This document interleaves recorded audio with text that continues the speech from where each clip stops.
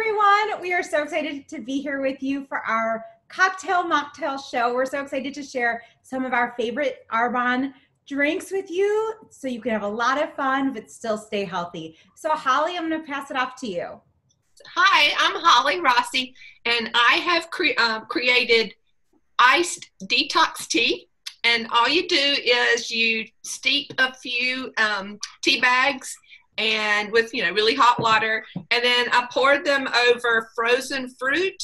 I believe it's pineapple, strawberry, peaches, and mango, and a little mint, and put it in the fridge for a little while. It's tasty.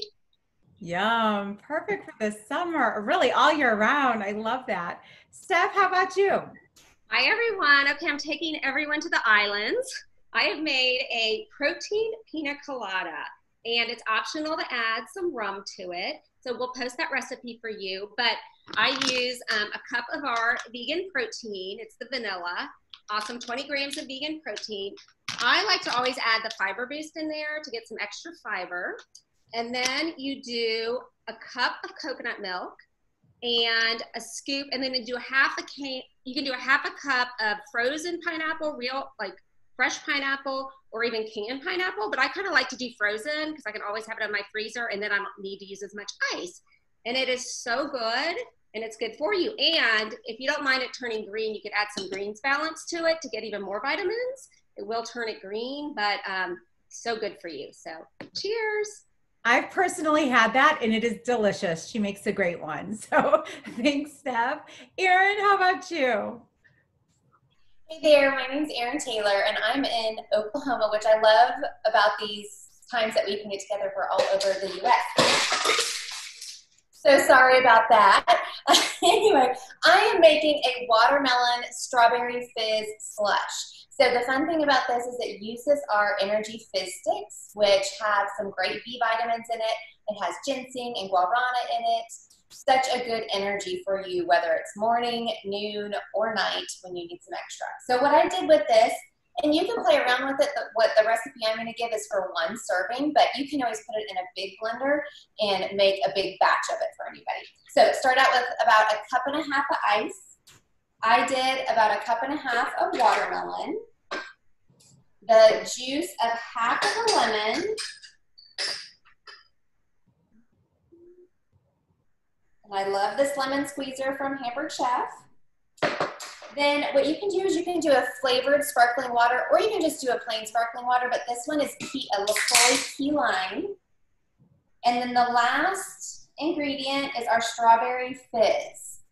So I'll put that in, and then I just blend it as one and enjoy it. Such a great thing to have. It's like over 100 degrees in Oklahoma today, so this is perfect. Enjoy. Yum, so good. Laura. Hey guys, I'm Laura Farrar and I'm in North Carolina. And like Erin said, love being able to do these events because we're all over. And I'm going to make a basil berry slush. Um, and this is what it looks like. So all you do is you add about a half a cup of, this is for one serving, about a half a cup of strawberries. This is quite a bit, but I was making them for myself and my husband. So I just put it in my blender. And then you, you can add um, ice to make it more slushy. And then since it's um, a berry slush, I'm using our strawberry fizz and um, just what Erin said about our fizz great energy there. And I'm putting it in my big blender. And then you just top with water and blend it up and just garnish with strawberry or whatever berry you like. And then a few basil leaves. And it's very good for the summer. Beautiful. Looks so good. Heather, Hi, I'm Heather Lurie, and I'm in Atlanta also. And mine is a little similar to Erin and Laura's, but hopefully it's a little different. Um, but I already added about eight ounces of ice and water. And then um, you could do pomegranate or watermelon or strawberry um, fizz in there as well. I have a half a cup of watermelon and about four ounces of vodka too and then mix it up, and then you have a delicious drink. to share with friends. Yum, looks beautiful. Okay, how about Steph Fisher? Steph, you're muted. I am here. Hello, everybody. I'm super excited to share with you guys just a peach slush. And this is wonderful because my mom and maybe you guys yourself have some fresh peaches coming off your peach tree at this time of year. And so I just sliced up one of those fresh peaches. I put in about a cup of ice. I'm adding LaCroix, or you can do any water that you would like to over that ice. And then I am adding a citrus fizz stick to that as well. So I'm adding my citrus fizz stick. And then I'm gonna blend it up, which will be kind of loud to, to blend it. But I, I think the, the best part of this is putting it in a really cute glass, right? Maybe with an umbrella or some fresh fruit on the side.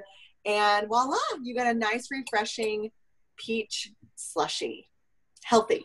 Love it.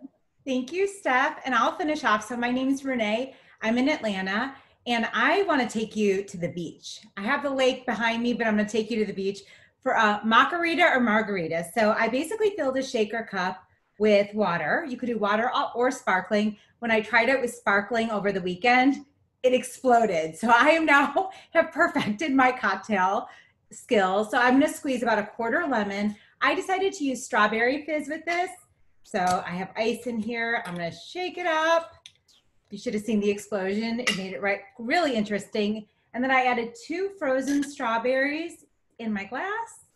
And it is delicious. If you wanted to make it a margarita, it calls for like exactly just one shot. So just one shot. And we all want to say cheers to you guys. Wishing you healthy cocktails and great time with friends. Thanks, guys.